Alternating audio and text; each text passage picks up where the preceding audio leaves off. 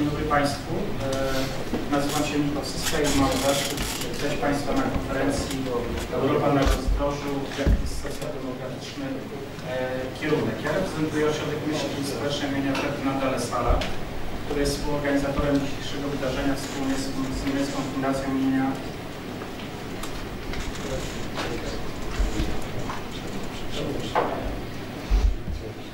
imienia, o teraz tak jest, to jeszcze raz powiem. Dzień dobry Państwu, serdecznie witam na spotkaniu dyskusyjnym na konferencji Europa na rozdrożu, jakie są socjaldemokratyczne e, kierunki, którą współorganizuje reprezentowany przeze mnie Ośrodek Myśli Społecznej imienia Ferdynanda Lasala oraz Fundacja imienia Friedricha Eberta.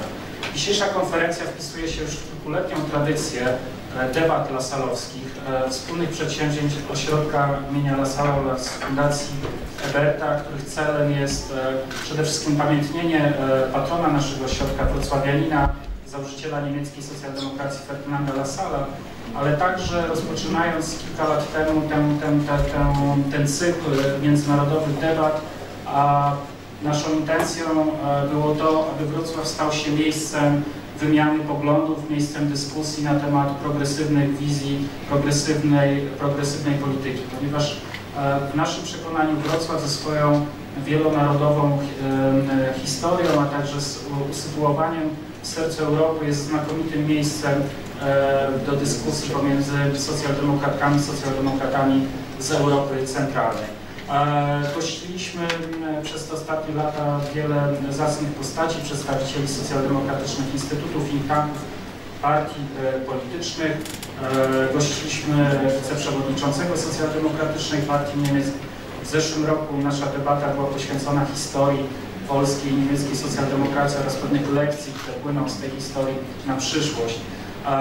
W tym roku wspólnie postanowiliśmy zaprosić do Wrocławia przedstawicieli niemieckiej, polskiej, czeskiej, słowackiej, węgierskiej socjaldemokracji, aby podyskutować o kwestiach, które wydają się w tej chwili najważniejsze, jeśli idzie o politykę europejską. W tej chwili europejska socjaldemokracja musi stawić czoła wielu kryzysom. Mamy kryzys ekonomiczny, kryzys związany z problemem, e, czy z rozwiązaniem problemu e, uchodźców to wreszcie kryzys zaufania e, obywatelek i obywateli do instytucji, do instytucji państwowych i do instytucji demokratycznych. To wreszcie zagrożenie spójności Unii Europejskiej, zagrożenie na przykład związane z ewentualnym opuszczeniem Unii Europejskiej przez, przez Wielką Brytanię i to także, to także problemy związane z funkcjonowaniem strefy euro i sytuacją w Grecji. I wydawało nam się, że właśnie w tym roku tym kwestiom powinniśmy, e, powinniśmy poświęcić nasz czas. Bardzo się cieszę, że w tym roku przyjechała tak liczna delegacja właśnie e, ekspertek i ekspertów z tych, z tych krajów. E, wczoraj i dzisiaj rano mieliśmy warsztaty, gdzie w sposób pogłębiony dyskutowaliśmy o poszczególnych tych problemach, a w tej chwili chcemy z, razem z Państwem podyskutować o o tym, e, o tym, co dzieje się w Europie i co socjaldemokracja europejska może zaproponować jako alternatywę dla tego, co w tej chwili e, się dzieje. Wydaje mi się także, że dla naszej polskiej publiczności interesujące będzie poznanie aktualnej sytuacji w tych wszystkich krajach, nie za pośrednictwem mediów, ale bezpośrednio od osób, które są zaangażowane intelektualnie bądź politycznie w życie publiczne e, w tych krajach. I dziękując Państwu za przybycie, dziękując naszym panelistom, których za chwilkę przedstawię, chciałem e, serdecznie podziękować instytucji, bez której nie byłoby możliwe dzisiejsze e, spotkanie, czyli Fundacji imienia Friedricha Eberta. Chciałem oddać głos dyrektorowi warszawskiego przedstawicielstwa Fundacji Rolandowi Fajtowi, aby oficjalnie otworzył nasze spotkanie. Bardzo proszę. Dziękuję bardzo. Szanowni Państwo, Będę mówił w języku angielskim. Zdziwicie się, że nie mówię po niemiecku, będę musiał mówić po angielsku. Ze względu na szacunek dla kolegów, koleżanek, którzy przybywają z innych państw tego regionu.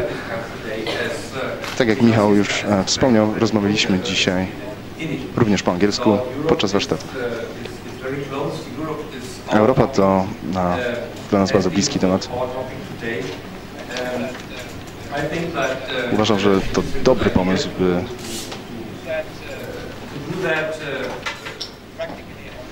by rozmawiać e, o tym, szczególnie e, w same urodziny Ferdynanda który urodził się w 1825 roku. Mm. Myślę, że to bardzo dobry pomysł, że robimy to właśnie w tę rocznicę, ponieważ e, był on ojcem nie tylko niemieckiej, ale również europejskiej socjaldemokracji. Ferdynand Lassalle urodził się we Wrocławiu i tutaj również umarł. Rozmawialiśmy dzisiaj z grupą lewicowych intelektualistów i aktywistów, think tankowców o problemach, a także o wyzwaniach, e, które stoją obecnie przed socjaldemokracją w każdym z tych państw. Rozmawialiśmy również o możliwej, wspólnej, możliwej wspólnej pozycji socjaldemokracji, nastawieniu socjaldemokracji do e, stojących nami wyzwań na poziomie europejskim i taki jest właśnie dzisiejszy temat dyskusji. Chciałbym przywitać wszystkich e, panelistów, panelistki, ale może również e, jedno osobę szczególnie.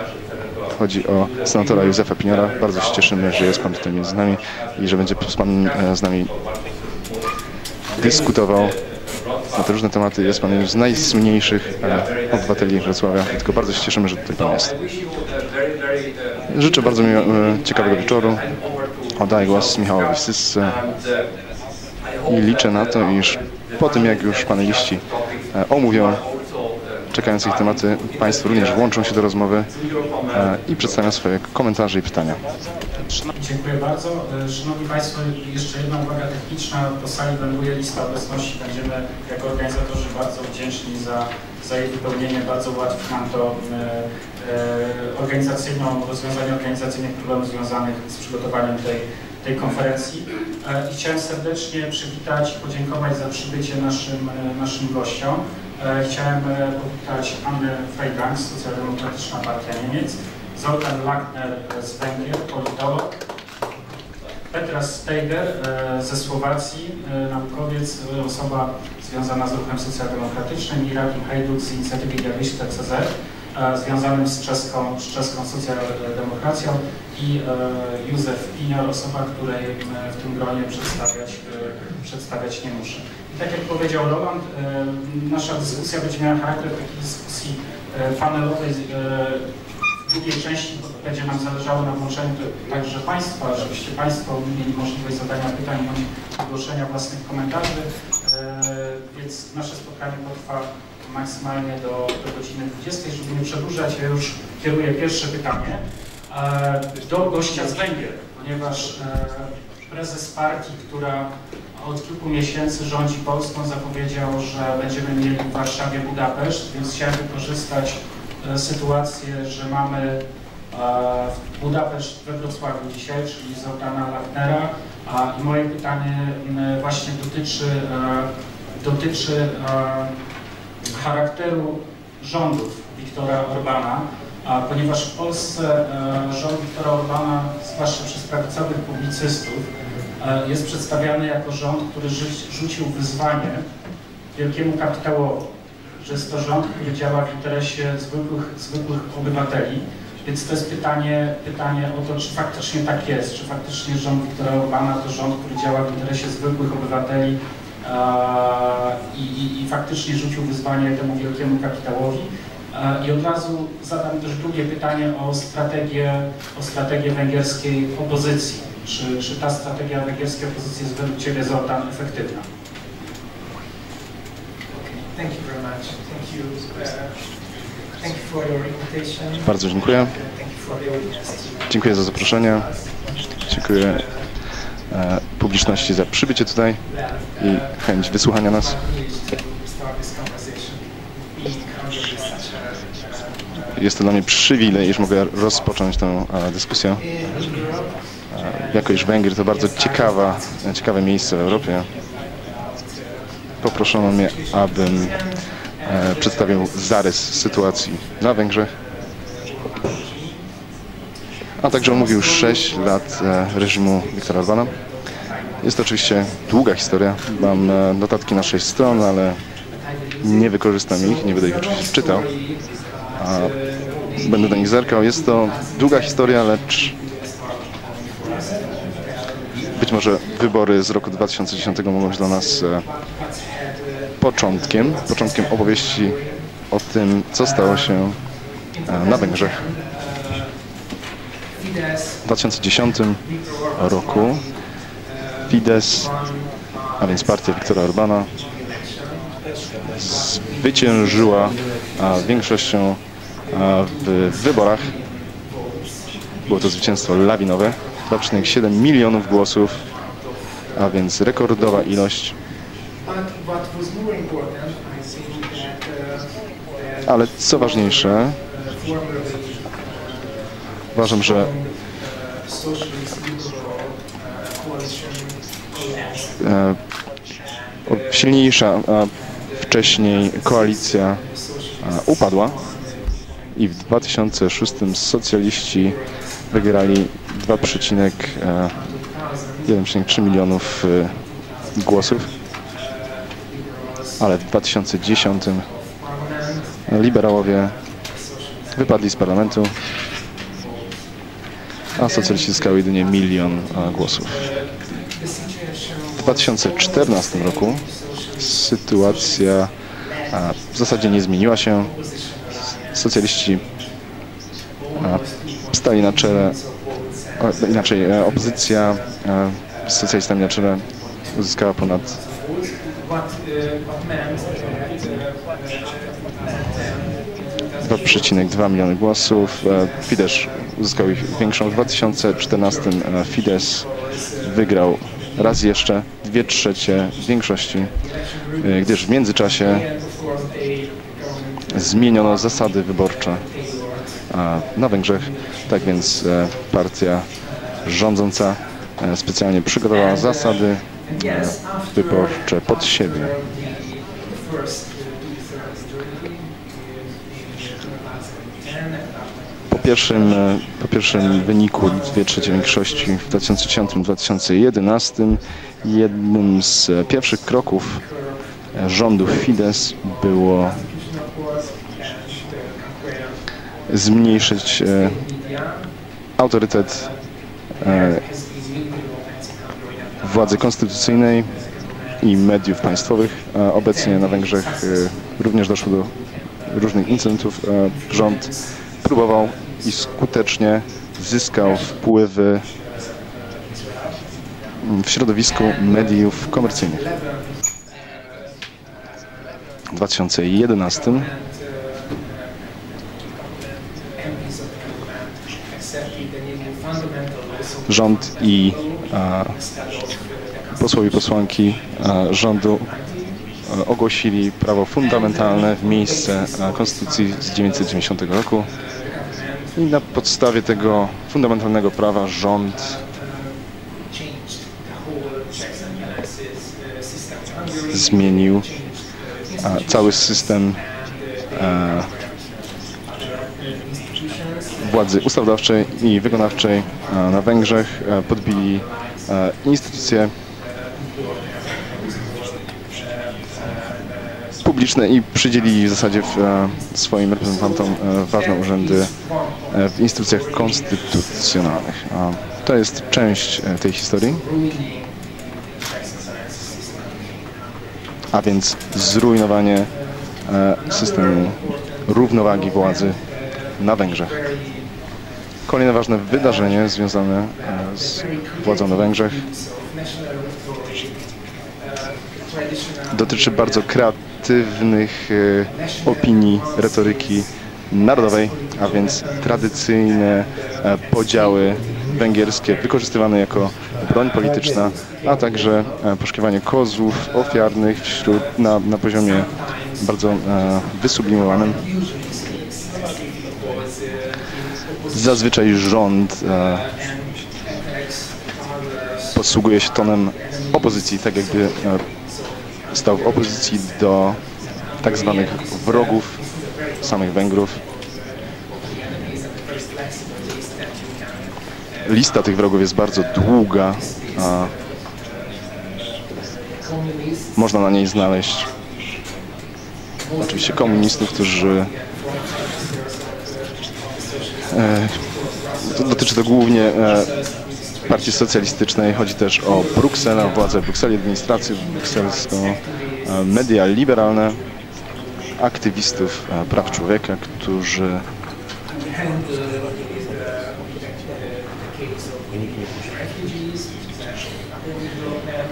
e, którzy idą na ugodę, jeśli chodzi o sprawę imigrancką, a także idea Eurozone to też e, też znajduje się, proponenci tej idei też znajdują się na liście wrogów. A więc retoryka to bardzo ważny element tej opowieści. 2010, government also Po roku 2010 rząd wprowadził wielką ilość reform,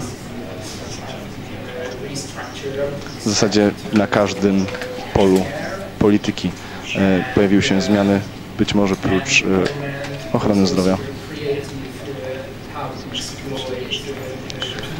Rząd wykazał się również kreatywnością, jeśli chodzi o nadużywanie słabości e, związków zawodowych. A ta słabość pomogła w działaniu rządu, nadała mu prędkości i agresywności, jeśli chodzi o prowadzenie reform. A w swoich reformach podatkowych e, rząd preferuje aktywnych politycznie wyższą klasę średnią, wyższą część klasy średniej i wspiera relacje hierarchiczne w społeczeństwie. Z drugiej strony uh. Fidesz wykorzystuje również klasyczne środki populistyczne. A, a Istnieją przynajmniej a, dwa, może nie tylko populistyczne, a, może nie tylko e, przykłady populizmu, jest to o wiele bardziej złożona sprawa, ale Orban something narzucił bardzo wysokie podatki na banki, co jest ciekawe, gdyż y, jest to coś, co zawsze było proponowane przez, rząd, przez partie socjalistyczne e, i rządy socjalistyczne. Rządy socjalistyczne raczej obawiały się tego ruchu i w tym momencie socjaliści zazdroszczą e, tych reform i tych dodatkowych podatków nałożonych na banki Orbanowi. Sam Orban zaś, sam rząd Orbana zmniejszył również education campaign, which is uh, education e, to, co nazywa się uh, uh, uh.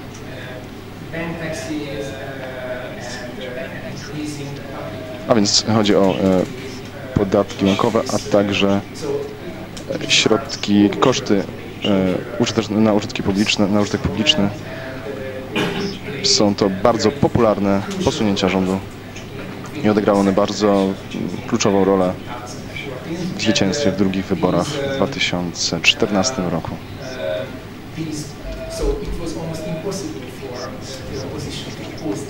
Było to więc niemoż, niemożliwe, aby opozycja sprzeciwiała się tym e, posunięciom rządu.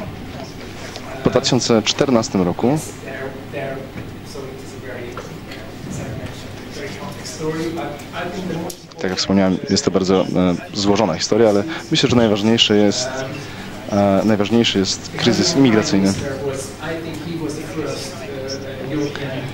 Węgierski premier był pierwszym europejskim liderem, który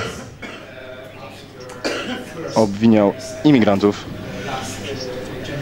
po e, pierwszym ataku na Paryż e, w styczniu, w styczniu 2015 roku. Zaś celem jego polityki imigracyjnej jest to, aby postawić wyraźną linię pomiędzy imigrantami, terrorystami i uchodźcami. Proszę mi uwierzyć, że nie jest to przesada, to o czym mówię. Taka jest linia polityczna węgierskiego rządu.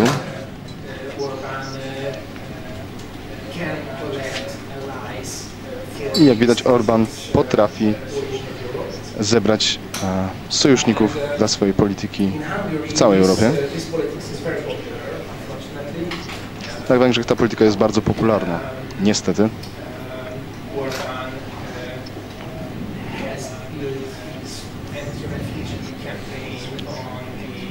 Orban wybudował swoją kampanię antyimigracyjną na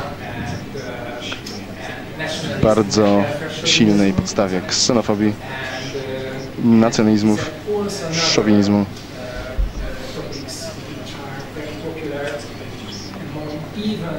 To jest kolejnym e, tematem bardzo popularnym nawet e, wśród partii opozycyjnych i wśród elektoratu partii opozycyjnych. Więc jest to kolejna pułapka, e, która czyha na partie opozycyjne. Tak wygląda, ta, takie ramy węgierskiej polityki e, obecnie występują w tym kraju. Jak wiemy, w 2014 roku tak zwane opozycje, partie e, opozycji demokratycznej, a więc stara lewica i nowa lewica i partie liberalne a, połączyły się i utworzyły sojusz. Sojusz, który mógł stać się sposobem na powstrzymanie Fidesu i Jubik, która również jest e, partią węgierską. Ale był to raczej, stanowiło to jedynie epizod w długiej historii zmagań między bardzo silnie podzielonym, e, podzieloną stroną demokratyczną i przedstawicielami e, tej, tej strony demokratycznej i w zasadzie następnego dnia, dosłownie następnego dnia e, po wyborach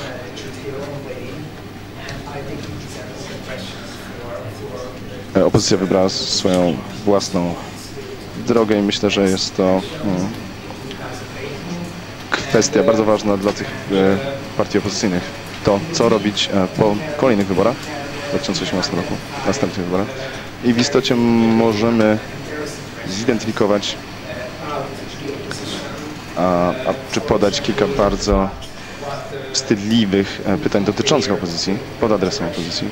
Na przykład, co byłoby ich e, strategią polityczną przyszłość, jako iż e, najpewniej składa się na nie e, mieszanka wielu strategii ideologii.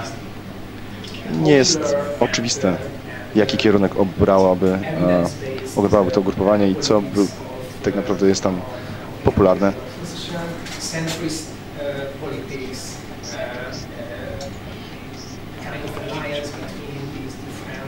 Jeśli chodzi o e, tę Musiałaby to najprawdopodobniej być e, polityka centralna między tymi różnymi aktorami. Byłoby to logiczne, lecz e, sam ten sojusz w 2014 roku i przyszłe sojusze musiałyby utworzyć pewną wizję dotyczącą Węgier i dotyczące tego, co stałoby się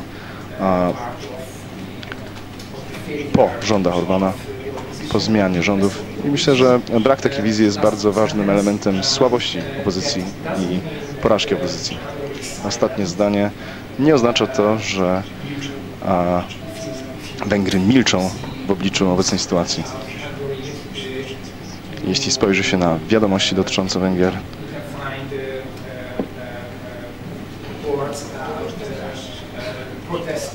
można znaleźć e, reportaże dotyczące protestów.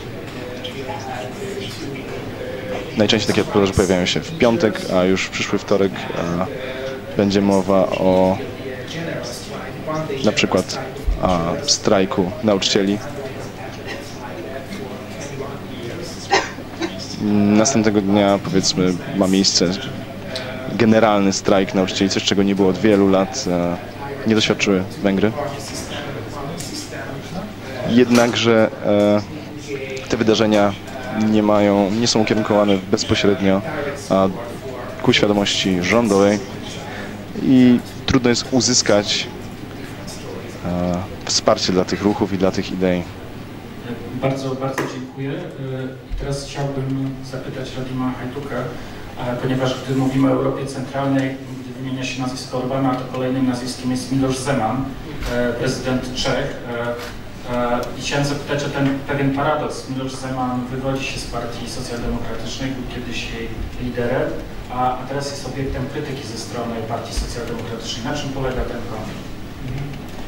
Uh, hello everyone, thanks for having me here. Uh, I'm all, all, Bardzo za możliwość uczestniczenia w dzisiejszym panelu. Uh, Jestem trochę zaskoczony, że rozumiem polski. uh. But uh, question Dziękuję, że mówią Państwo tak wolno. Uh, Pytanie uh, o Zemana. Roger Ktoś może mi powiedzieć, może Co Państwu przychodzi do głowy, jeśli myślą Państwo o? Zemanie? Jedno słowo albo jedno zdanie. Czy to nazwisko, that? e, cóż Pan ma na myśli przez bunga bunga?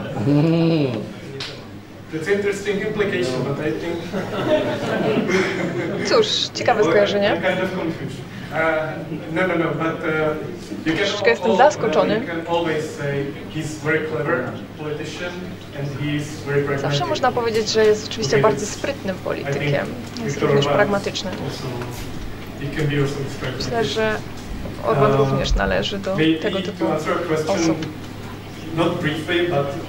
Żeby odpowiedzieć na zadane pytanie, może nie krótko, muszę opowiedzieć pewną historię. Czy znają Państwo początek jego kariery politycznej? To była partia liberalna, Zorientowana na wolny rynek. Więc było to tak naprawdę przeciwieństwo in the 90s. tego, co dzieje się teraz. Mniej więcej był tam około roku, uh, w latach 90. i tam szukał swojego elektoratu. uh, To był oczywiście elektorat pragmatism. socjaldemokratyczny. To jest uh, przykład jego pragmatyzmu. Uh,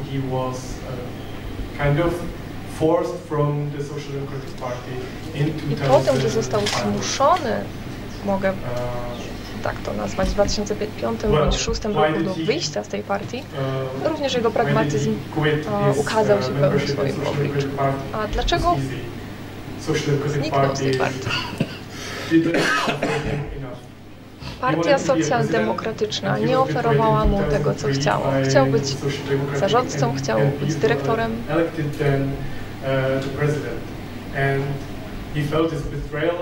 Ale wybrano kogoś innego. Poczuł się oszukany. W election. 2013 bądź 2014 e, roku były wybory prezydenckie, które wygrał poprzez swoją małą partię nazywaną prawem ludzi.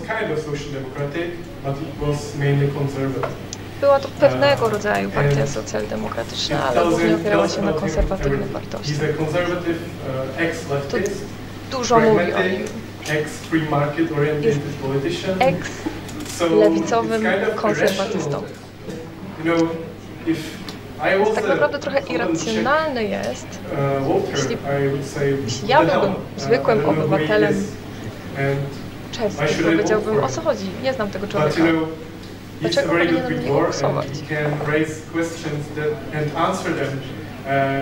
Ale on bardzo dobrze przemawia, potrafi zadawać dobre pytania i na nie odpowiadać, naprawdę jak żaden inny czeski polityk. Na przykład jeśli chodzi o kryzys imigrancki, nie wiem czy Państwo wiedzą, istnieje wiele małych partii w Czechach, które zahaczają trochę o faszyzm. Oczywiście są bardzo mocno nastawione antyimigrancko.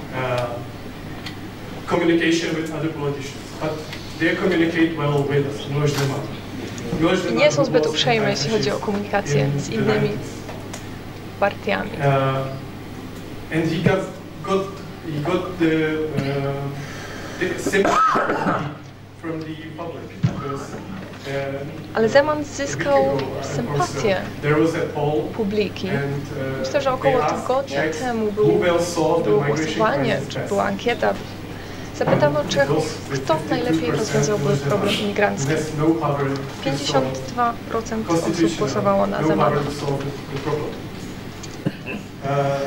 So, if there is a pattern, Miloš Zeman just seeks for the, for the issues that are interesting for the electorate, and they just exploit them. reprezentuje No właśnie matter tego skutecznego polityka. Uh, I tak naprawdę nie chodzi-. Nie jest ważna ideologia, czy jesteśmy prawicowi, uh, centralni, czy lewicowi. Jeśli think on that's na the to może skorzystać, tak najbardziej wykorzysta tą sytuację. I myślę, że to jest główny powód, dla którego opuścił 2006 partię socjaldemokratyczną. Ponieważ chociaż w roku Uh, 2006 it była ta partia bardzo popularna, Miloš Zeman tak naprawdę nie zyskał dużo na tej Ja partii. Bardzo dziękuję i teraz przenosimy się na Słowację. Ponieważ na Słowacji w ostatnich miesiącach wydarzyło się e, bardzo dużo, e, bardzo dużo, e, bardzo dużo rzeczy, które zaszokowały opinię publiczną w całej Europie, ponieważ po raz pierwszy do parlamentu weszła partia otwarcie nawiązująca do tradycji faszystowskich, partia Mariana Kotleby i e, w ostatnich tygodniach powstał nowy rząd, który z takiej perspektywy europejskiej jego skład wydaje się egzotyczny. Stąd moje pytanie do Petry o, o informację, po pierwsze skąd sukces e, partii Kotleby i kto głosował na, na tą partię, co, co wiemy o elektoracie, który głosował na partię otwarcie nawiązującą do, do tradycji słowackiego faszyzmu i do nazizmu. I drugie pytanie o, o, o, ten, o ten nowy rząd, znaczy skąd, skąd taka konstelacja partii e, w tym rządzie, jaka jest polityczna agenda? Dziękuję bardzo, witam Państwa. Dziękuję za możliwość spotkania się z Państwem dzisiaj. Odpowiadając na pytanie, że skład rządu jest trochę egzotyczny, myślę, że bardzo ciekawe słowo na określenie tego. Zanim rozwinę się na ten temat, chciałabym zaoferować Państwu moją perspektywę, moje zdanie dotyczące Mariana Kotleby. Po wyborach mieliśmy, mamy dziewięć partii. Partia Kotleby ma 8% głosów. Całkiem sporo, jak na taki mały kraj. Skąd to się bierze? Wiemy, że większość osób, które głosowały na Kotleba, na Kotlebę, to młode osoby, które głosowały często po raz pierwszy w życiu z najbiedniejszych regionów z wysokim bezrobociem. Możemy prześledzić rozwój tego wzoru. Naprzeciwko tego bieguna jest, są osoby, które e, głosowały na wszystkie inne partie, tylko nie na Kotleby, więc to są osoby z bardziej rozwiniętych mm, regionów. Taka jest moja perspektywa. To jest główny czynnik, który spowodował, że dany region głosował właśnie w ten sposób. Wiele lat bezrobocia, Niestabilna sytuacja bez jasnych rozwiązań. Młodzi ludzie są bez perspektyw.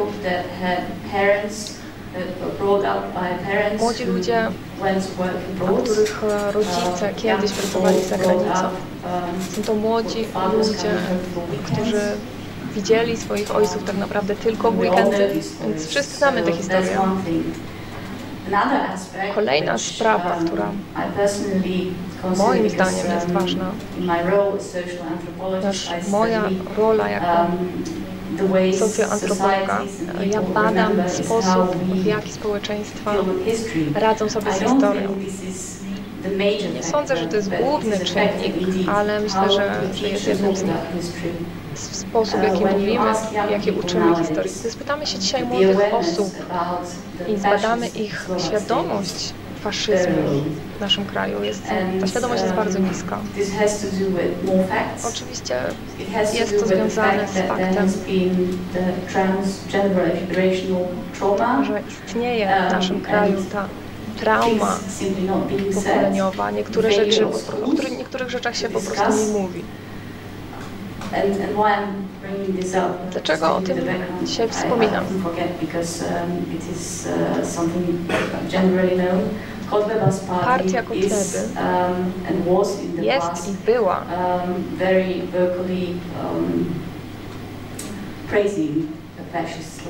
od zawsze chwaliła faszyzm w pewnym stopniu.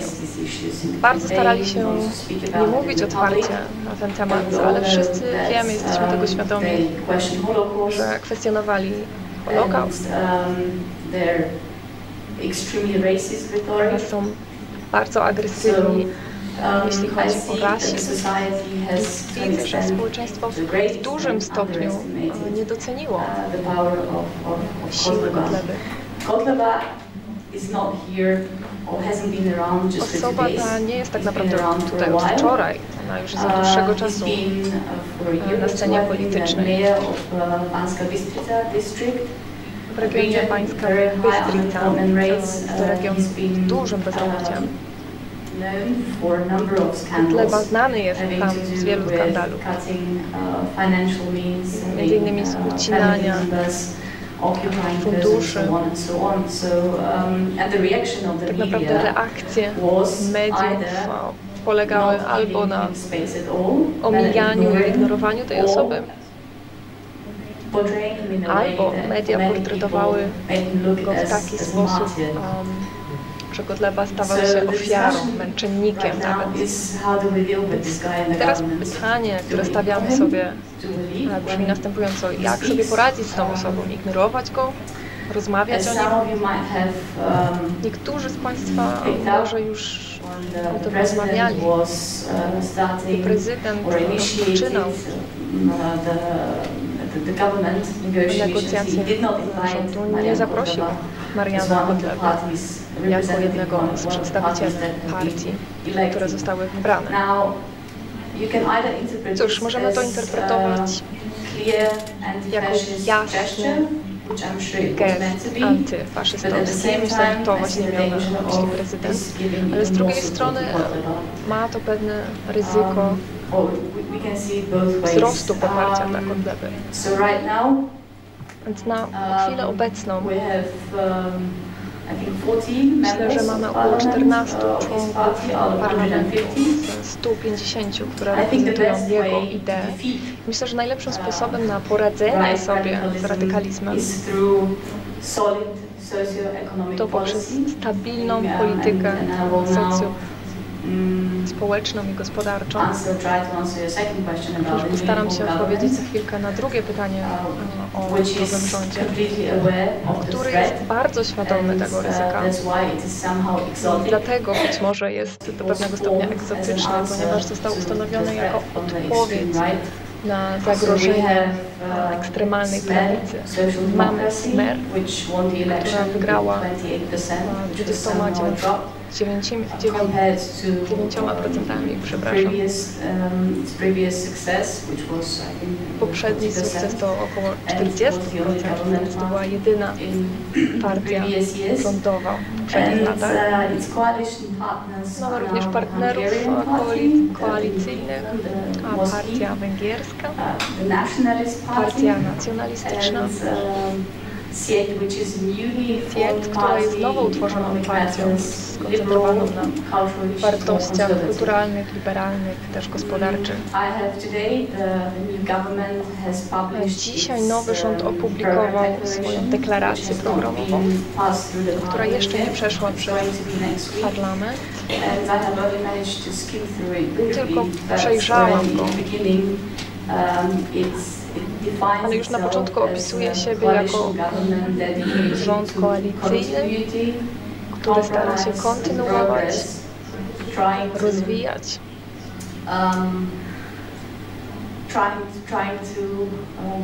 Stara się połączyć bardzo mocno podzielone społeczeństwo w obliczu tego ryzyka ekstremizmu.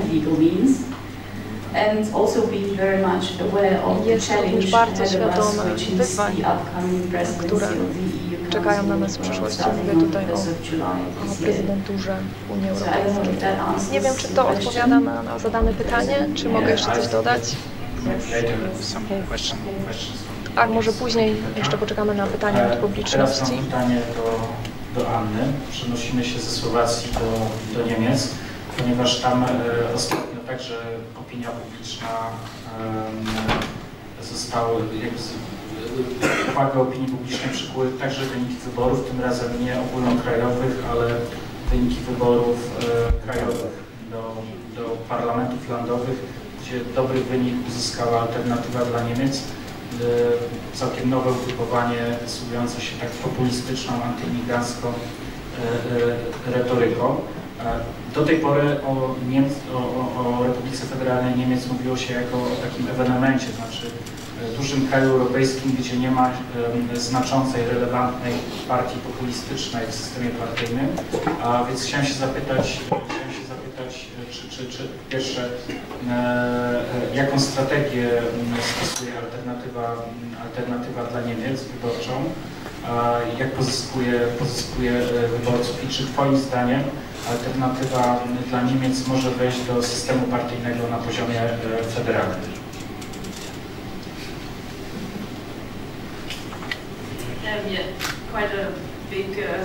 To bardzo duży zasięg e, pytań. Like pierwsze chciałbym powiedzieć, iż partie nacjonalistyczne i populistyczne nie są w istocie problemem e, w Niemczech, ale nie o to chodzi. Mamy przeszłość związaną z, z historiami, z partiami prawicowymi. Oczywiście nie mówię o tym, co miało miejsce wiele lat temu, ale nawet e, dość niedawno zawsze pojawiała się ilość wyborców e, i obywateli e, przyciąganych przez partie nacjonalistyczne. Tak więc e, mamy szczęście, że zazwyczaj te partie nie były w stanie zebrać głosów ani wpływów, głównie ze względu na fakt, iż dzieliły się, tworzyły frakcje, ale już nawet w latach 90.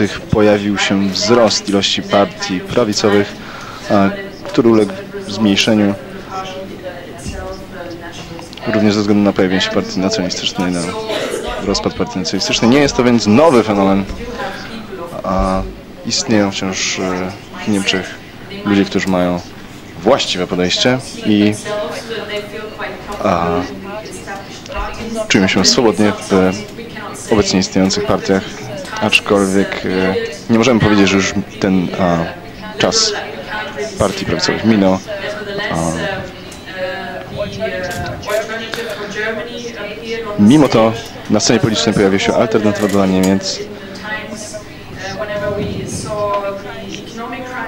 Najpierw nastąpiło to, pojawiła się to partia wtedy, kiedy doświadczyliśmy kryzysu ekonomicznego, więc była to a, zwyczajnie partia e, przeciwstawiająca się euro i strefie euro. Chciała, aby Niemcy opuściły strefę euro, e, a więc jej agenda była dość ograniczona. I jak zapewne sami Państwo wiedzą, gdy pojawiła się dyskusja o strefie euro, o ratowaniu Grecji, ludzie pogubili się w technicznych szczegółach, a tak więc sam ten temat sprowadzał się do tego, że nie chcieliśmy, nie chcemy przeznaczać pieniędzy na ratowanie Grecji. Ale już wtedy można było zauważyć, że ludzie z tej partii starali się przyciągać do siebie ludzi, którzy byli e, po prawej stronie spektrum politycznego. Może nie po to, by tworzyć ideologiczną fundację, ale raczej by tworzyć elektorat, zwiększyć swój wpływ. Ostatecznie jednak e, partie prawicowe sprzeciwiające się Unii Europejskiej i imigrantom przejęły tak naprawdę elektorat od e, ekonomistów sprzeciwiających się euro. Tak więc zostali oni wyrzuceni z partii, stworzyli swoją własną partię. Było to jeszcze przed e, wybuchem kryzysu imigracyjnego i uchodźczego. Wtedy jeszcze, a, gdy partia podzieliła się na pół,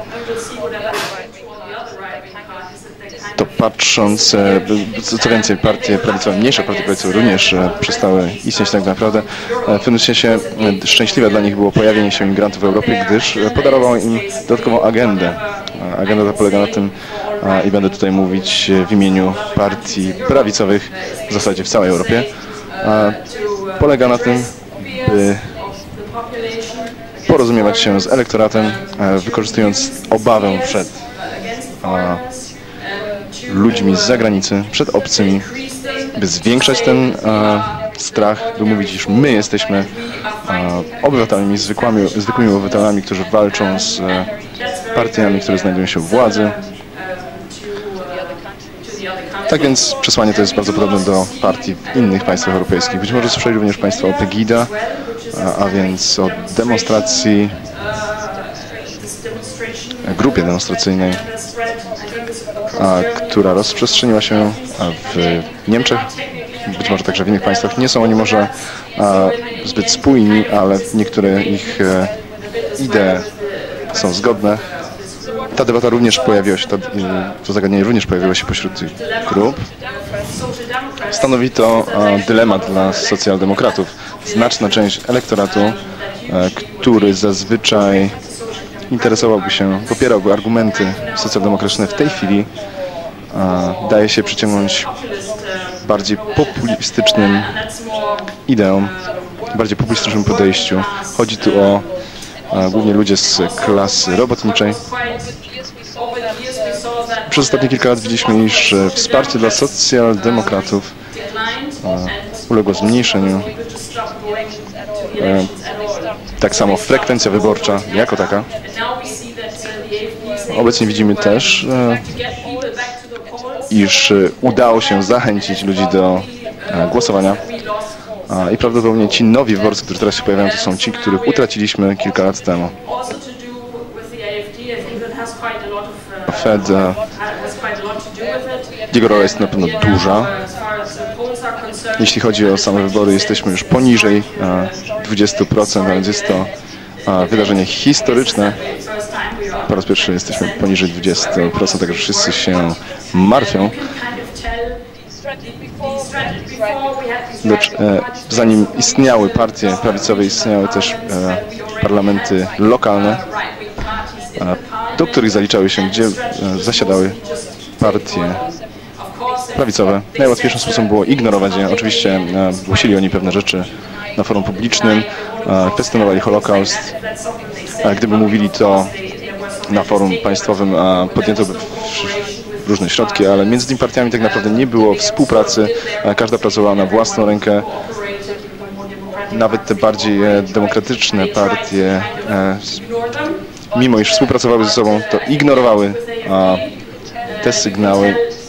W tej chwili możemy stwierdzić, iż jest już to niemożliwe. Niemożliwe jest, by ich ignorować, ponieważ partie te wzrosły w siłę, wykorzystują strach, niepewność ludzi związaną z kryzysem ekonomicznym.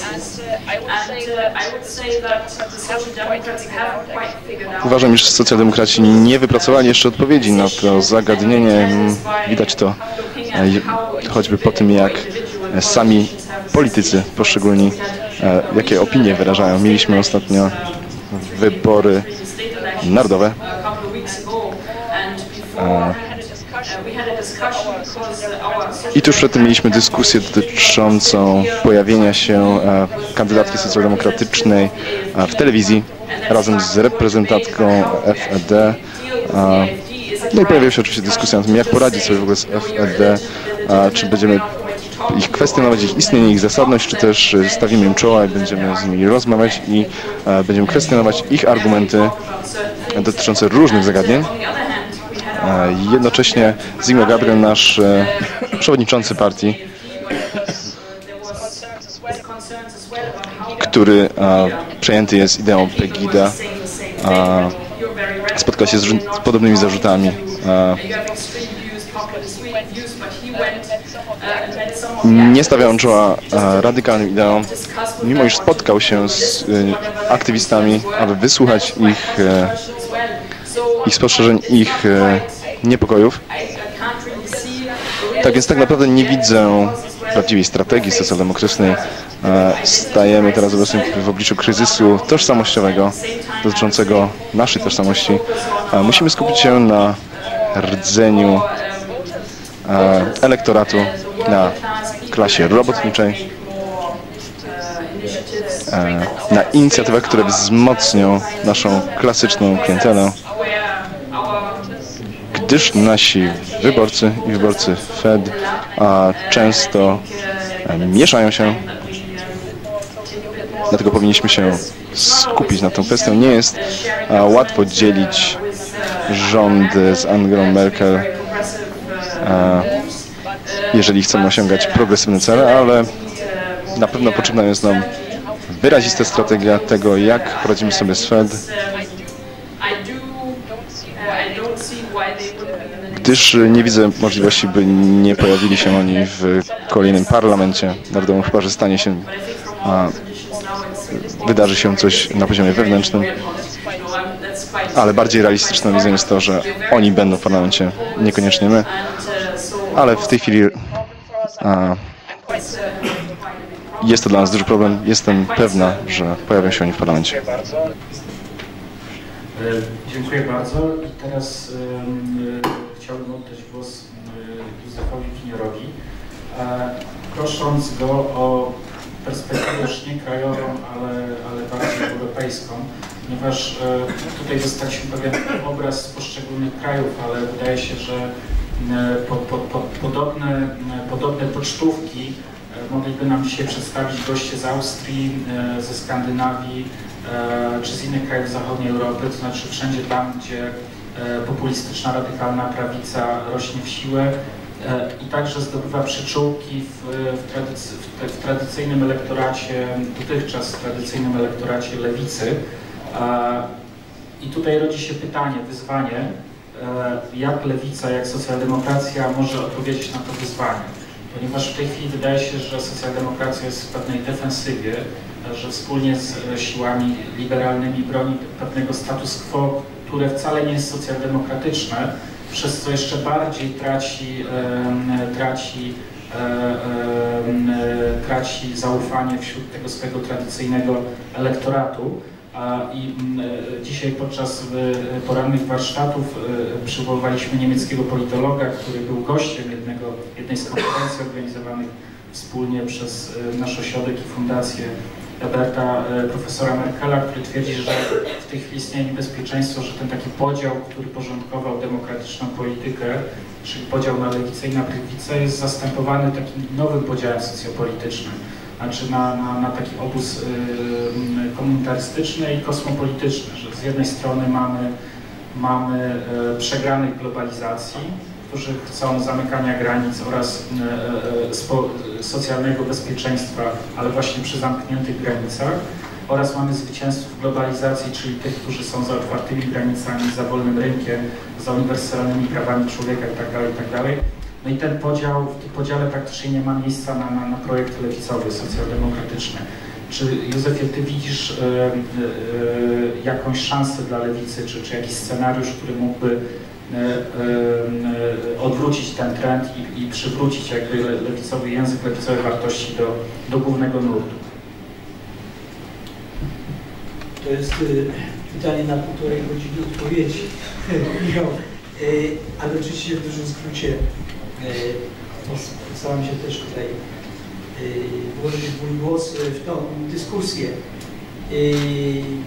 Po pierwsze, ja się nie zgadzam z tym, że socjaldemokracja nie, mieści się w tym podziale, bo zwracam na uwagę, że istotą, co jest istotą socjaldemokracji? Przecież istotą socjalizmu historycznie, no, roz, rozmawiamy pod patronatem Ferdynanda Lasala, to, co jest istotą socjaldemokracji, to jest to, że y, ponad 100 lat temu w Europie pojawił się ruch, który łączył walkę ekonomiczną, czy walkę związkową robotników z emancypacją polityczną.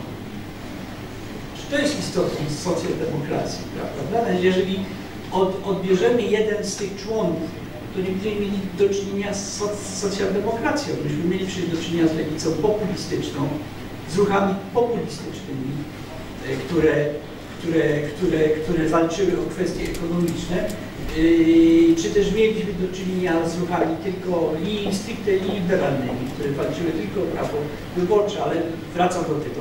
To, co jest historycznie istotą socjaldemokracji, to to, że socjaldemokracja połączyła walkę o kwestie y, socjalne z kwestiami politycznymi, z emancypacją polityczną. Yy, I no, oczywiście, że mamy do czynienia po drugie, że mamy do czynienia z zupełnie nowym krajobrazem gospodarczym, społecznym, politycznym. Jest jasne. Jesteśmy w, w, w nowej sytuacji w globalnej, także, także w Europie, e, która ta, ta nowa sytuacja globalna, ekonomiczna, społeczna, polityczna, ona oczywiście przetwarza tradycyjne podziały polityczne. To jest także oczywiste. Ten klasyczny podział w Europie Zachodniej po II wojnie światowej, on się, on się e, jakoś tam kruszy e, i jesteśmy w takim momencie, kiedy powstaje coś, coś nowego. To, to jest politologicznie to jest fascynujące, politycznie już niekoniecznie. E, to, to, to musi być ciekawe. E, ja, ja wierzę w to, że, że lewica w Europie jest, jest ciągle siłą polityczną, która jest w stanie walczyć o y, rządy, walczyć o to, jaka powinna być scena polityczna w Europie.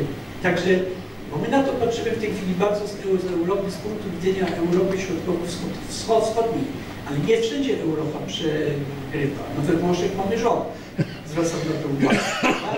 Y, są kraje, w których, w których y, socjal, socjaldemokracja, tak, no więcej jest takich krajów. Czy ten przykład północnoamerykański, który, który się nie mieści w, tej, w, tym, w tym schemacie europejskim, klasycznej socjaldemokracji, bo tym niemniej tam lewica jest w stanie wygrywać o Ameryce Północnej. Justin Trudeau wygrał wybory, a on jest w Kanadzie po lewej stronie sceny politycznej. Wy, wygrał wybory, tworząc koalicję z mniejszościami, koalicję pro-uchodźczą, to aż do nie, nie, nie do uwierzenia jakoś w Europie że on z pozycji pro-uchodźczej, pro-imigranckiej e, w takiej szerokiej koalicji był w stanie wygrać wybory e, w Stanach Zjednoczonych, także te wyniki Sandersa e, w USA, także że to nie jest tak, że mamy do czynienia tylko z obrotem lewicy. Natomiast to, co jest specyfiką w, Europie, to, to jest najciekawsze z naszego punktu widzenia, że na lewo od klasycznej socjaldemokracji pojawiają się nowe ruchy polityczne, nowe partie polityczne, które są w stanie e, zwyciężać w wyborach. Myślę oczywiście o Syrizie, o Podemos. W Polsce to jest fenomen partii Razem, która co, co prawda nie jest w parlamencie, no tym niemniej e, zafunkcjonowała na scenie politycznej, zdobyła te, te 3%.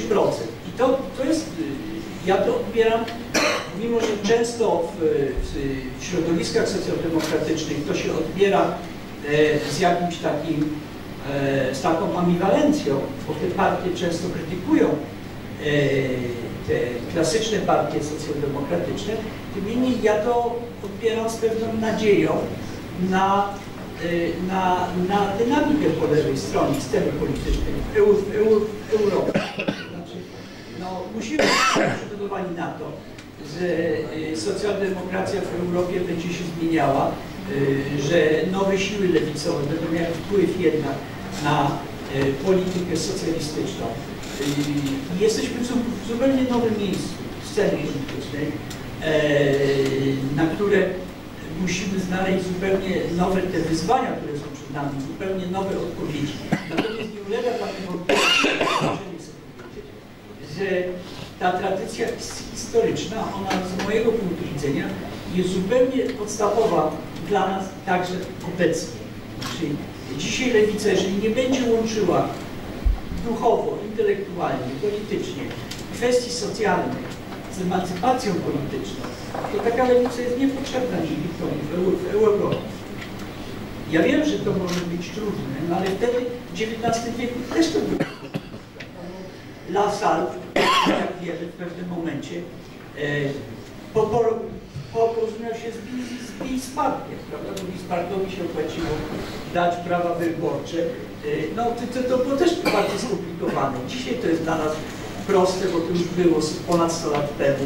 Natomiast wtedy to też było bardzo, bardzo skomplikowane. Pamiętamy te polemiki ideologii niemieckiej Marksa z Lassalem, z, e, z Mosesem He- He- Hesse, które wtedy się to, toczyły wokół polityki w plusach, tej tworzącej się nowej polityki lewicowej w plusach.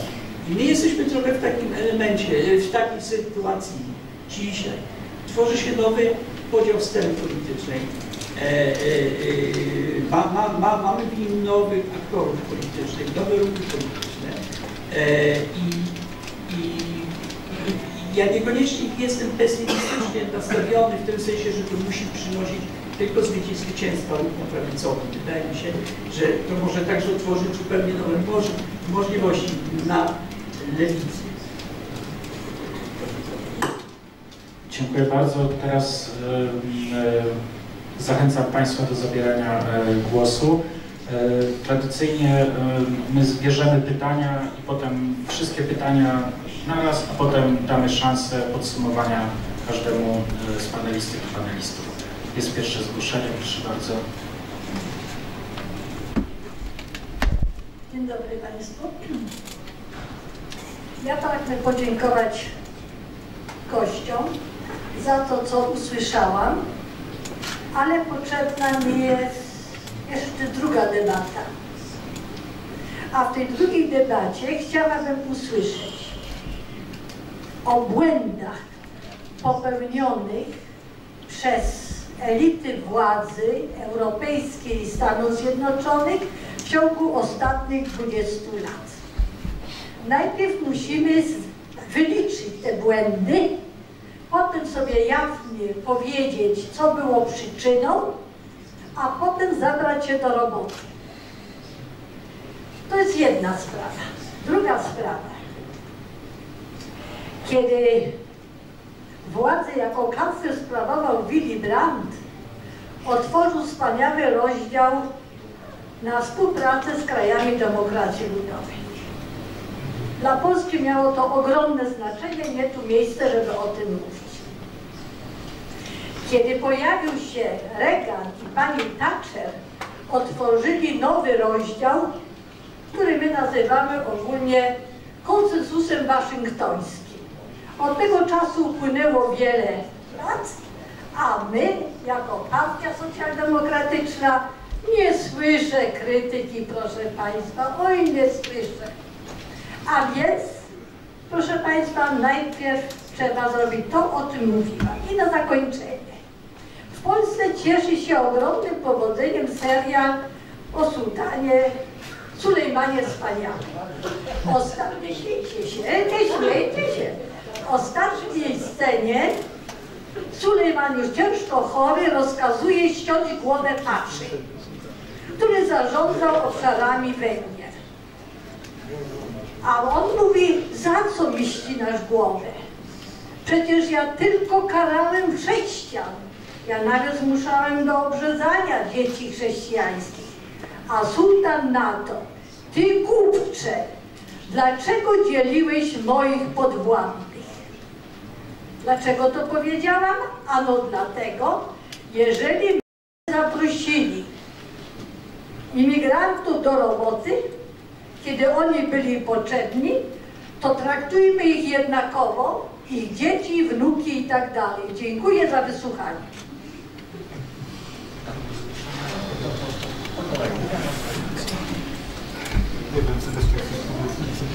Hello, my name is Łukasz Miszewski. I'm a member of... Nazywam się Łukasz Szyszewski, jestem członkiem partii Razem. Pan Pinior już wspomniał o tej partii. Jesteśmy tak zwaną nową lewicą. Chciałbym zadać pytanie dotyczące wydarzeń w Waszych państwach. Czy macie jakieś porady, e, socjaldemokratyczne porady dotyczące tego, co możemy zrobić, żeby e, nie stało się to co najgorsze? Co jako socjaldemokraci możemy zrobić, żeby nie pozwolić albo e, aby faszyzm europejski zyskał na sile? Dzień dobry Państwu, ja nazywam się Radosław Czarnecki. Chciałbym taką refleksję ogólną się podzielić. Po pierwsze, są chyba nieporównywalne sytuacje z Niemiec i z pozostałymi krajami. Dlaczego? Eee, dlaczego populizm prawicowy zwycięża w tych właśnie krajach? Po pierwsze, tu się o wiele bardziej społecznie nie sprawdziła teoria chaosu. Nie będę mówił o czym, z czym to się je. Naomi Klein o tym doskonale napisała. My jesteśmy tu w Europie Środkowej o wiele e, na niższym poziomie i technologicznym, etc., etc., niż Niemcy. Po drugie, trzeba sobie zadać pytanie, dlaczego akurat w tych czterech krajach quasi naziści, bo tak to trzeba powiedzieć, mają takie wsparcie społeczne. Bo to nie jest sztuką narzekać, że te partie wygrywają i dostają tyle głosów. Tylko w pierwszy raz odpowiedzieć na pytanie, dlaczego tak się dzieje. To Arystoteles powiedział, że nie poznamy prawdy, nie zgłębiając przyczyn. I od tego trzeba zacząć.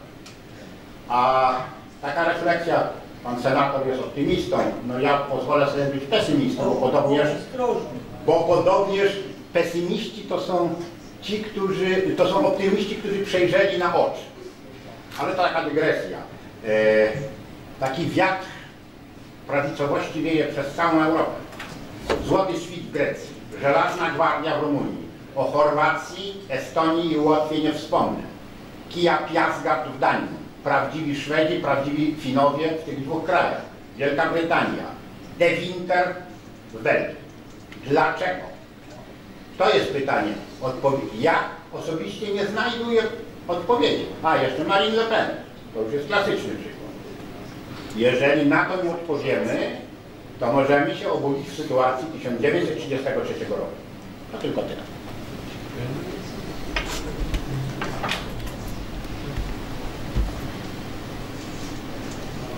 Dziękuję bardzo. Mnie Wiktor z Uniwersytetu Wrocławskiego. Proszę Państwa, jest kilka pytań, które zasiali tutaj prelegenci, ale które także drążą nas jako słuchaczy i tych, którym jest droga, droga lewicy i przyszłość tej lewicy. Otóż moim zdaniem jest tutaj kilka kwestii. To jest po pierwsze kwestia szerokiego frontu lewicowego. Sama socjaldemokracja moim zdaniem nie zdoła skutecznie przeciwstawić się temu rosnącemu w siłę władztwu wielkiego kapitału. Mamy do czynienia procesem globalizacji, koncentracji kapitału w rękach niewielkiej garstki. Autorzy przytaczają liczne porównania mówiące, że ta garstka mogłaby się zmieścić w jednym wagonie, a mają oni w swoich rękach bogactwa światowego w połowie. To jest to wielkie niebezpieczeństwo. Siła kapitału jest w dalszym ciągu wielka, dlatego że ma on do dyspozycji państwo, aparat przymusu i może nie tylko poszczuć lewicę faszyzmem, różnymi partiami faszystowskimi, które obecnie przecież nie wynajmują się same, tylko powstają na pewne zamówienie społeczne i polityczne. I po drugie, mamy tutaj do czynienia z jeszcze jednym dużym niebezpieczeństwem, mianowicie niebezpieczeństwem wybuchu wojny. Dlatego, że przecież ta wojna była i jest wmontowana w mechanizm utrzymania, sprawowania władzy przez wielki kapitał, wtedy, kiedy nie można wystarczająco kontrolować sytuacji metodami demokratycznymi. I to jest obecnie wielkie niebezpieczeństwo. Światu grozi już nie tylko kryptofaszyzm, o którym mówił kolega Czarnecki, ale prawdziwy faszyzm. To nie oznacza, że ten faszyzm przyjdzie w podkutych butach, w mundurach SS, SD czy innych znanych nam z historii. To może być faszyzm, który będzie kierowany przez eleganckiego pana, stojącego na czele partii politycznej, wykorzystujący demokratyczny mechanizm. A więc jest tutaj wielkie niebezpieczeństwo. W związku z tym w naszej dyskusji i szerzej, także w kategoriach Unii Europejskiej, musimy postawić problem nowej jedności wszystkich niezadowolonych z obecnego kapitalizmu. Ten, ta jedność, ta platforma musi być bardzo szeroka, ale ona daje gwarancję, daje gwarancję, że w perspektywie może być zatrzymany ten front prawicowy, bardzo niebezpieczny. To tyle, jest wiele innych problemów, ale na pewno są inni. Dziękuję bardzo. Dziękuję bardzo. Czy ktoś jeszcze z Państwa chciałby zabrać głos? Tak, Pani redaktor, proszę. Zostawiając nową kwestię socjalną, bo ona oczywiście wydaje się być fundamentalnym powodem, dla którego partie prawicowe odwołujące się do pakietu socjalnego, przynajmniej w Europie Środkowo-Wschodniej, wygrywają wybory. E, e, żeby była też jasność, pamiętajmy o tym, że przed PiSem jednak rządziła Platforma Obywatelska 8 lat. Trochę inna partia, choć też prawicowa. Natomiast pani Petra, nie pamiętam nazwiska, powiedziała bardzo ciekawą rzecz o polityce historycznej i o Steiger, pani Petra Steiger, mówiła o polityce historycznej, czy też właściwie ze strony, z lewej strony braku koncepcji, jak realizować tzw. Tak politykę historyczną, e, co spowodowało przejęcie całkowicie narracji przez prawą stronę sceny politycznej. Tak się przecież wydarzyło w Polsce, tak się też myślę wydarzyło na Węgrzech. Imre Nocz był stalinowcem, który tak naprawdę przeszedł transformację światopoglądową, stając na czele powstania węgierskiego. Y, ta kwestia właściwie w ogóle nie występuje w narracji 1956 roku. W Polsce tak naprawdę nie istnieje legenda PPS-u. Do PPS-u odwołało się Prawo i Sprawiedliwość e, i wychodzi na to, że polska lewica tak na dobrą sprawę, zamiast na przykład dać na sztandary zamęczonego w więzieniu stalinowskim Purzaka, właściwie nie miała kogo dać i zupełnie odpuściła mówienie o czymś takim jak historia lewicowego ruchu o prawa człowieka czy ruchu robotniczego, więc jak, jak właściwie, czy istnieje w ogóle jakikolwiek pomysł na odzyskanie tej narracji historycznej? E, bo oczywiście możemy, e, możemy sobie kpić z żołnierzy wyklętych, możemy sobie żartować, że to są żołnierze przeklęci, mówiąc ironicznie, co nie zmienia faktu, że to jest atrakcyjne dla młodych ludzi. Oni mają po prostu punkt odniesienia, po prostu mu się wydaje, że będzie bohaterem z karabinem w ręku i będzie walczył o jakieś wielkie wartości ideały. To zresztą widać wyraźnie, że era postpolityki się skończyła, to jest w ogóle fikcja. E, coś, co należy zamknąć i należy przyznać w końcu, że tak naprawdę stajemy w przededniu powrotu do idei, do wartości, do idei. I teraz jest to tak naprawdę kwestia tego, jak je definiować i jak je możliwe. Dziękuję bardzo. Czy jeszcze ktoś z Państwa ostatnie pytanie nie widzę? Dziękuję. Eee, to może według jakiej kolejności też? Może według tej samej. Dobra. Może jeszcze chciałbyś się odnieść do, do jakiegoś pytania. Które jest godzina?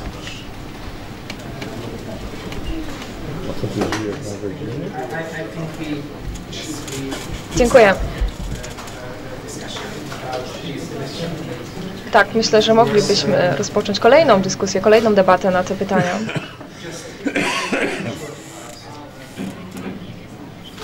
Może dwa krótkie komentarze na ten temat. Pierwsza dotycząca błędów elit po transformacji w Europie Centralnej. Oczywiście to prawda, że na przykład na Węgrzech poprzedni rząd, a także obecność, którą mamy dzisiaj, jest rezultatem danych błędów, którym tak naprawdę jest długą historią braku zadowolenia społecznego. Jest to ważny czynnik, dzięki któremu Orban wygrał wybory w 2010 roku.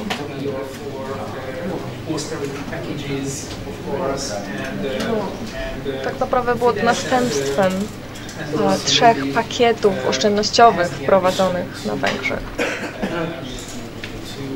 Również e, Jobbik ma ambicje reprezentowania siebie jako partii która zapewnia ochronę społeczną. Ta kwestia tak naprawdę była dominującą przez ostatnie 20 lat. Tak naprawdę zostało utracone, zostało utracone zaufanie i rzetelność. Nowe lewicowe partie, grupy powstały. Ale cóż, nie wiem, jaką tutaj poradę mogę zaprezentować dotyczącą tej kwestii. Brak instytucji.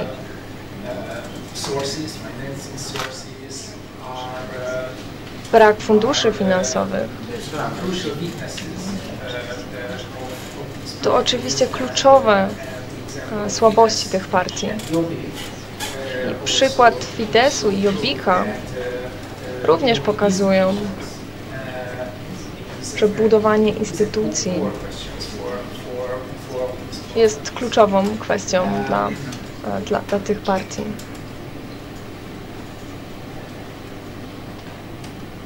Uh, uh, and that is why this credibility question is also very important for. Również ważna jest kwestia zaufania, rzetelności, wiarygodności dla partii socjaldemokratycznej. I tak, zgadzam się z przedmówcą, że możemy zobaczyć brak refleksji, jeśli chodzi o globalizację, brak równości w społeczeństwie, ale także jeśli chodzi o tworzenie wizji na przyszłość. To jest kolejna sprawa, o której możemy długo dyskutować, w jaki sposób socjaldemokraci zmieszali swoją politykę z neoliberalnymi elementami.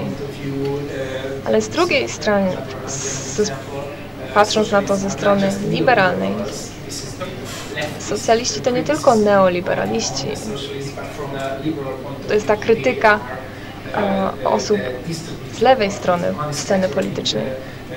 Ale to są te partie, które dystrybuują pieniądze, fundusze i to jest ten mroczna strona tej partii.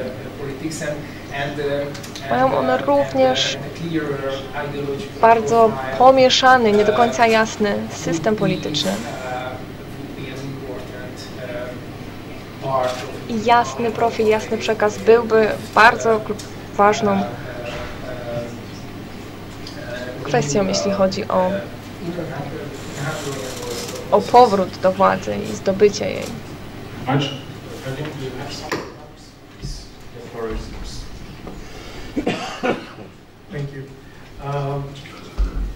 Dziękuję bardzo. Jestem aktywistą, więc moje słowa będą surowe. Dlaczego elity socjaldemokratyczne zawiodły nas? Znam odpowiedź na to pytanie. E, grały one w grę innych ludzi, grę obcych. Nie jesteśmy w stanie grać w grę innych ludzi. Ja, dla przykładu, jeżeli mówimy o imigracji, nie możemy e, grać w taką grę. Możemy zadać to pytanie inaczej. Co możemy zrobić dla samych ludzi? Myślę, że elity socjaldemokratyczne e, utraciły kontakt z ludnością. Tak więc pojawia się tu miejsce dla Demos, Syriza i innych ruchów, z którymi po części się utożsamiam, mimo że jestem socjaldemokratą.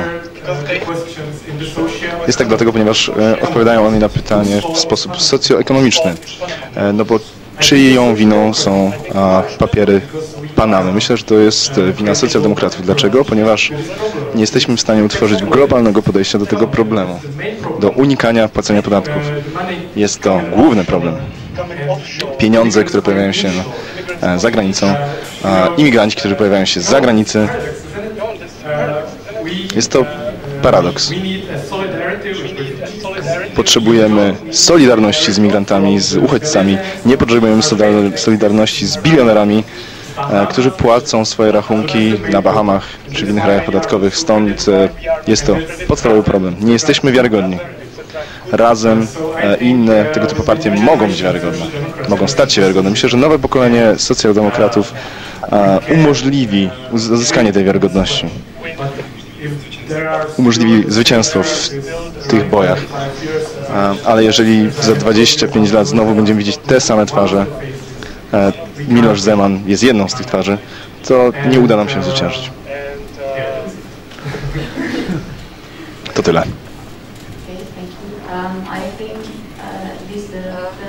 Dziękuję. Myślę, że pierwsze trzy lub cztery pytania e, miały wspólny wyznacznik, e, wspólny element.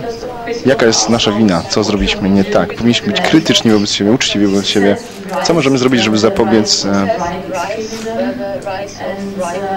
e, prawicowym, prawicowym ekstremizmom, żeby zapobiec prawicowym ekstremizmom? Zgadzam się, że problemem jest tutaj oligarchia, ta ośmiornica oligarchii dusi socjaldemokrację. Tak więc możemy sobie tutaj rozmawiać o, o tym, o mocy i władzy rynków ekonomicznych, o tym jak e, władze ekonomiczne duszą władze ideologiczne i o tym, że e, usługi społeczne również są w, e, w mackach oligarchii. A tak więc moim pytaniem jest, co możemy zrobić, co a, by e, szukać elektoratu również wśród ludzi, którzy wspierają e, prawicę, tak aby czuli się reprezentowani, a nie niedoreprezentowani. Lewicowa polityka zawsze dotyczyła kryzysu kapitalizmu. Obecnie w tej dyskusji brakuje tego elementu. I brakuje tego elementu w całej Europie. Pewna pani e, zadała pytanie o, o to, w jaki sposób możemy przywrócić narrację. Nie, nie, myślę, że nie zrozumiałem dokładnie tego pytania. E, najlepszym sposobem przy, przywrócenia narracji, a nie jest to szybkie rozwiązanie, to pracować nad e, wykształceniem, e, nad e, nauczaniem historii, na nauce historii, która opiera się na interpretacjach historii, które e, pochodzą z dialogu międzynarodowego, przynajmniej na podstawowym poziomie. Myślę, że Niemcy są dobrym przykładem tego, w jaki sposób nauczanie historii a, może wyglądać. Myślę, że jest jedno z najlepszych nauczania, jest jednym z najlepszych sposobów nauczania historii w Europie. A, warto wspomnieć, że a, sięga granic wytrzymałości, jeżeli chodzi o to, co, na co są gotowi ludzie. Słyszałem wiele krytycznych opinii ludzi na temat nauczania historii. Ten temat pojawia się często w szkołach i w telewizji. Ale nie wydaje mi się, że to jest e, najważniejszy czynnik, który może przeciwstawić się e, potędze prawicowych ekstremistów. Gdyby tak było, e, nie mielibyśmy tak naprawdę w Niemczech żadnego ekstremizmu. Polityka nauczania w Niemiec była bardzo efektywna, a jednak mamy wciąż Pegidę. Także myślę, że e, należy tego rodzaju politykę e, omawiać, rozwijać, szczególnie jeśli chodzi o nowe wydarzenia e, na arenie politycznej. Na pewno jest to element, jeżeli chodzi o wizję społeczeństwa, nie wiem, czy to jest to właściwa odpowiedź na to pytanie. Czy to odpowiada na Pani pytanie? Wrócimy do tej kwestii jeszcze na chwilę. Uważam, że to bardzo ciekawe pytanie, ciekawe zagadnienie. Pojawia się pytanie, jak podjąć decyzję, żeby połączyć te wszystkie, żeby wyłączyć te e, kwestie nauczania historii. W Niemczech to nie było takie proste. E, to nie było tak, że może ktoś powiedział, że nagle powinniśmy mówić o tym w szkole. To cały ruch polityczny. E,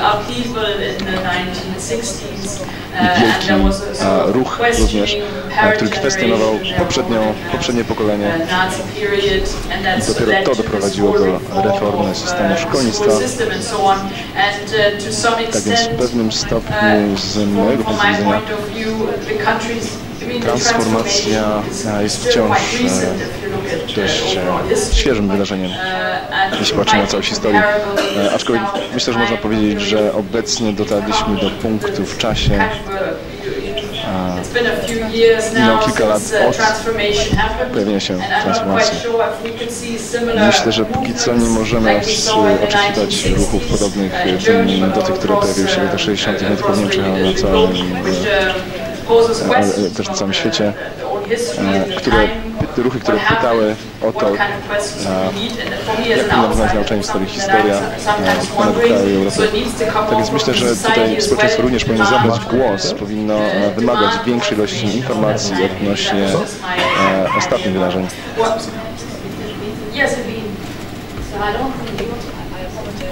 Przepraszam, chciałem tylko powiedzieć, że samo społeczeństwo nie jest w stanie zabrać tutaj głosu, gdyż w trakcie kryzysu, kiedy ludzie mają problemy natury egzystencjalnej, jeśli chodzi o ich przetrwanie, to historia i nauczeństwo nie jest tematem dla nich ważnym. Oczywiście jest to tylko teoria, a wiadomo, że jest to pewien luksusowy problem, na którym miejsca obecnie, ale socjaldemokraci powinni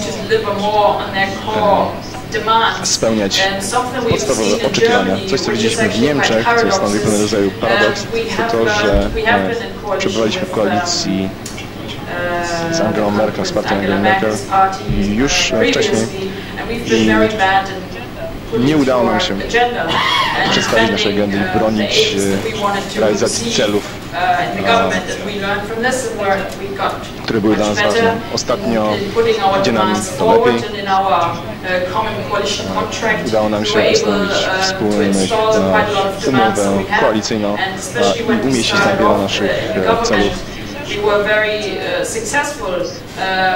Udało nam się na przykład wprowadzenie minimalnej, płacy minimalnej. Była to kwestia teoretycznie niemożliwa do realizowania, a, a teraz obecnie jest jednym z kluczowych elementów polityki tego rządu. Ale co ciekawe, sami socjaldemokraci nie zyskali na tym, nie zyskali na tym sukcesie. To Angela Merkel a, zyskała na tym. Ludzie postrzegają jako wiele bardziej społeczną, tak więc uzyskała o wiele większe poparcie również wśród elektoratu socjaldemokratycznego. Więc tak naprawdę nie byliśmy w stanie aby a, przekuć te zyski na, na naszą korzyść. Nie jestem pewna, czy pan z tyłu tutaj Krzysztof mówił o tym, że prawica i populizm jest inny w zachodniej Europie i wschodniej Europie. Nie zupełnie zrozumiałem, co pan mówił, ale uważam, że oczywiście, że powody, które, dla których powstały pewne ruchy prawicowe są w zasadzie podobne się, może mają pewne różnice, ale są dość podobne. Wspomniał Pan o pewnych argumentach, o agendzie ksenofobicznej, o tym o wykorzystywaniu stereotypów, aby wzbudzać w społeczeństwie strach. Dla nas jako partii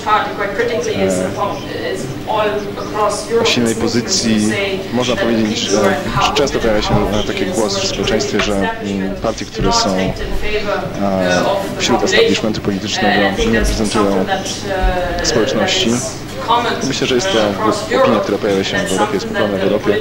I establishment polityczny na pewno musi wziąć to pod uwagę, ale uważam również, że bardzo ważne jest tutaj mówił jeden z przedmówców, kiedy spojrzymy na globalizację, na to, jak wiele narzędzi, jak wieloma narzędziami dysponujemy, e, aby stawić czoła wyzwaniom globalizacji, to okazuje się, że pojawia się pewien limit. Musimy nawiązać współpracę na poziomie europejskim, coś co robimy obecnie, coś co robimy tutaj na przykład w ramach tej dyskusji omawiamy pewne rozwiązania.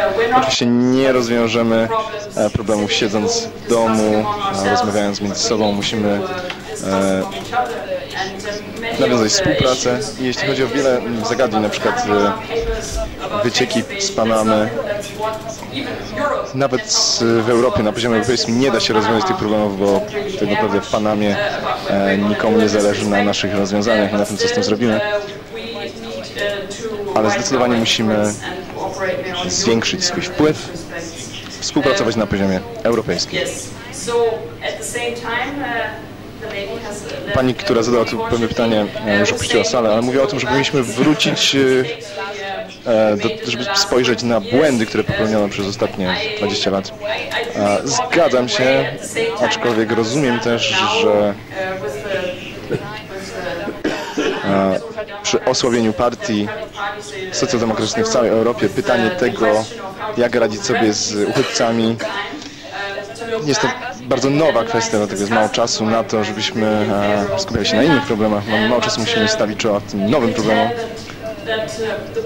Aczkolwiek widać wyraźnie, że polityczni aktorzy bardzo trudno jest im znaleźć rozwiązania na, dla tych nowych zagadnień. Możemy spojrzeć do tyłu, lecz myślę, że lepiej byłoby skupić się na tym, co przed nami. Gdy już może rozwiążemy te, te zagadnienia, to wtedy spojrzymy w tył. W dużym skrócie ja, ja myślę to, co pani redaktor Kaczorowska powiedziała, my, my, my jesteśmy, znaczy skończyła się po, postpolityka. My szczególnie w Polsce e, zostaliśmy przywaleni e, taki, taką, taką e, szalenie silną w mainstreamie po 1989 roku, po, po, po polityką post, postmodernistyczną. No, no to na Węgrzech prawdopodobnie to było podobnie. I to się skończyło. My jesteśmy w nowym, na nowym etapie dziejów i w, w Europie, i w świecie. Ja, to nie to, że ja jestem optymistą, panie redaktorze, bo, to, to było, to nie o to. Tym niemniej wydaje mi się, że ta sytuacja dynamiczna, ona, jest dynamiczna nie, nie, nie, nie tylko z punktu widzenia zagrożeń i tych zwycięstw prawicy, ale też także z tego punktu widzenia, co się dzieje po lewej stronie. Te nowe ruchy lewicowe, czy nowe partie lewicowe, które się najpełniej pojawiły w Europie Południowej, no w Polsce ten fenomen partii Razem. Czy to się zderzy z socjaldemokracją? Tak może być. Że to będzie, że to pójdzie i my nie wiemy, co się stanie po prostu nie jesteśmy w stanie tego przewidzieć w tej chwili. To może być tak, że te partie się zderzą z socjal, jak w Hiszpanii to widzimy, Podemos nie jest w stanie zrobić rząd z, z partią socjalistyczną w Hiszpanii. Ale już na poziomie regionów jest w stanie, już to wygląda zupełnie inaczej. Więc czy też jednak te partie zmienią historycznie socjaldemokrację, to znaczy na nowo ożywią socjaldemokrację. No wejdą, jak tak, tak w przeciągu ostatnich 150 lat było, prawda, że partie radykalne, które często zaczynały od tego, że atakowały socjaldemokrację, wychodziły z socjaldemokracji, wracały do socjaldemokracji w pewnym momencie. Więc yy, jak to się stanie? Czy tutaj będziemy mieli czynienia z jakąś synergią? Czy też będziemy mieli do czynienia ze, ze zderzeniem? To tego w tej chwili jeszcze nie jesteśmy w stanie przewidzieć. Natomiast e, może nie to, że jestem optymistą, ale ta sytuacja jest dy dynamiczna. No tak jak w Polsce, przy całej katastrofie, moim zdaniem, mówię za siebie, przy całej katastrofie tego, że w lewicy w ogóle nie ma parlamentu, jest, jesteśmy, rozmawiamy w kraju, w którym e, poza Irlandią są takie dwa kraje Unii Europejskiej, gdzie, gdzie lewicy nie ma w parlamencie. E, więc przy całej tej katastrofie, tego co się stało, gdzie ta większość parlamentarna e, kreuje w tej chwili politykę na, nacjonalistyczną, no to tym niemniej pojawiła się jakaś nowa partia, która zdobyła 3%. Ta partia razem, co samo w sobie jest zjawiskiem, wydaje mi się, pozytywnym. E, więc chodzi mi tylko o to, chodziło mi tylko o to w tej dyskusji, żebyśmy nie wpadali w taką, w taką, w taką mentalność de, de, de, depresyjną, że wszystko jest przegrane, została nam tylko historia, a nie, nie, nie ma żadnej przyszłości. Tak nie jest. Jestem przekonany o tym, że tak nie jest. Jest oczywiste, że odpowiedź na lewicy musi być europejska. To, co było, to co ja powiedziałem, że, że było na początku znakiem charakterystycznym lewicy, połączenie kwestii socjalnej z emancypacją, ze, z kwestiami praw politycznych, praw człowieka, to, to jest jeszcze trzeci element, o którym teraz chcę powiedzieć. Internacjonalizm, tak? ale internacjonalizm nie, nie w tym sensie, że lewica jest antynarodowa, bo ona, ona oczywiście się kształtuje w, w, w państwie narodowym. Niemniej jest w stanie wyjść poza państwo narodowe w kierunku polityki międzynarodowej. Tu się coś dobrego dzieje, niedobrego dzieje, przepraszam, niedobre dzieje, niedobrego dzieje z socjaldemokracją, bo, bo, bo my nie jesteśmy w stanie, znaczy my się nie spotykamy po, po powiedzmy w Europie Wschodniej. Tak? To co Kaczyński zrobił z Orbanem, no to, no to było w Polsce dla naszych gości zagranicznych. Orban przyjechał na takie specjalne naradę polityczną z Kaczyńskim. No to pokazało, że to są politycy z prawdziwego zdarzenia. Że oni są w stanie uzgadniać pewne kwestie, ale lewica, lewica tego nie robi. Lewica, znaczy w każdym razie to nie jest tak widoczne, jak to powinno być widoczne.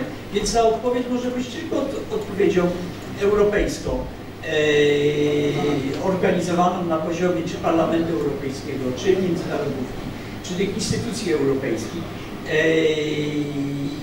Natomiast powtarzam, no, żeby nie wpadać w taką depresję polityczną, o co szczególnie w Polsce jest w tej chwili łatwo, prawda? Nie, nie jest tak, że jest wszystko przegrane i wszystko stracone. Wydaje mi się, że mamy jakieś aktywa na lewicy e, i w Polsce, i w, i w, Europie, które po prostu należy wykorzystać w tej chwili do e, ofensywy politycznej i na zakończenie zupełnie. No oczywiście to jest kwestia kluczowa, o której Pani mówiła, ta kwestia e, edukacji his, his, historycznej. Myśmy w Europie Środkowo-Wschodniej, na, na pewno w Polsce, na, na pewno na Węgrzech, oddali historię prawicy. W Polsce prawica kolonizuje historię polską. I szkołę. No tak, no ale ja o tym mówię, no ale ja o tym mówię przecież. Jak mówię o edukacji, to myślę o szkole przede wszystkim. Już w Polsce ma do czynienia z sytuacją, gdzie 25 lat prawica kolonizuje historię.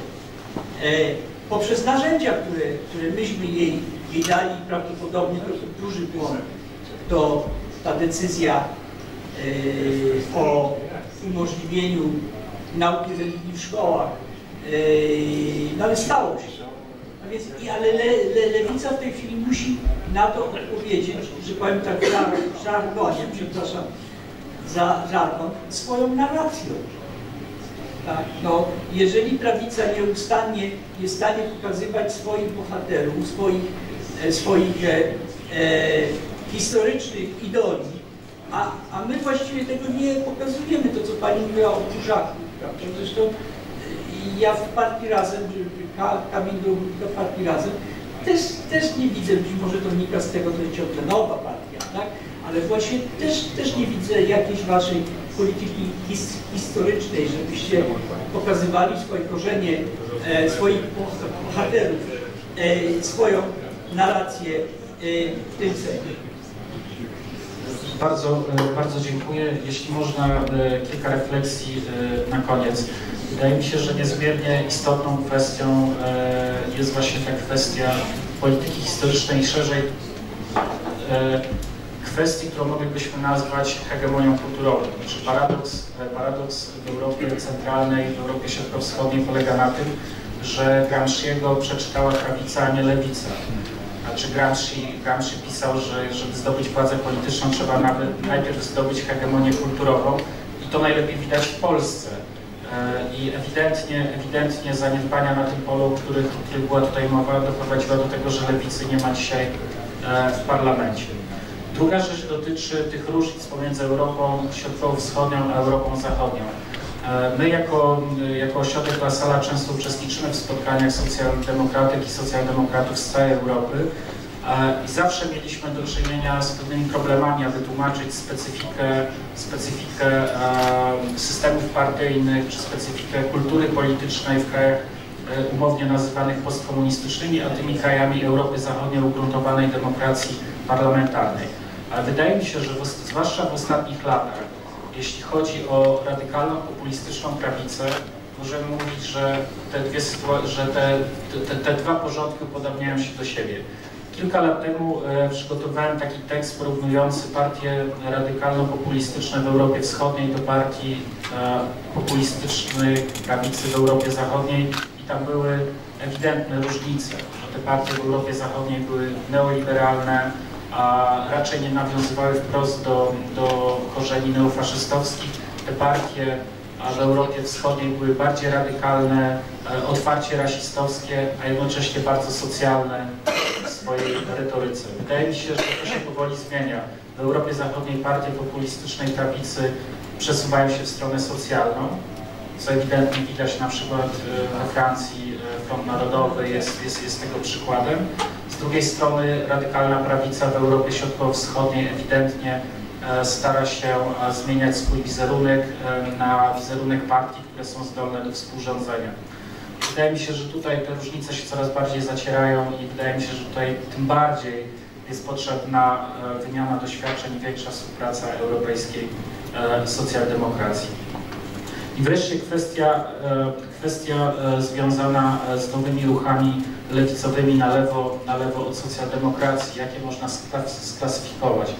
Otóż o, o, o ile faktycznie Syriza czy Podemos zbudowały swoją pozycję na, na konflikcie z tradycyjnymi partiami socjaldemokratycznymi, to mamy też przykłady innych państw, gdzie, gdzie partie sytuujące się na lewo od socjaldemokracji tworzą koalicje rządowe z partiami socjaldemokratycznymi. To jest przykład Norwegii i e, ośmioletnich rządów e, Partii Pracy i Socjalistycznej Partii Lewicy. To, to także poprzedni rząd na Islandii, gdzie rządziło, rządzili socjaldemokraci i, i radykalna lewica. To wreszcie obecny rząd w Portugalii, który jest ewenementem na skalę, na skalę europejską, bo tam w skład tego rządu wchodzi, znaczy tam to się nazywa Partia Socjalistyczna, a blok lewicy, który jest taką e, e, e, portugalskim odpowiednikiem Syrizy, to są właściwie bratnie partie o bardzo podobnych, o bardzo podobnych korzeniach i, i, komunistyczna partia Portugalii, która jest dużo bardziej or, ortodoksyjna,